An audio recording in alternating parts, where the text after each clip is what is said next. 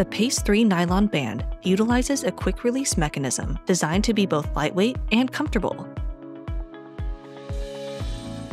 To remove the quick release bar, press down on the lever with your fingernail until it is fully compressed. The other end of the bar will then naturally release. To remove the quick release pin, slide the pin with your fingernail and push the pin slightly to one side until you can remove the band.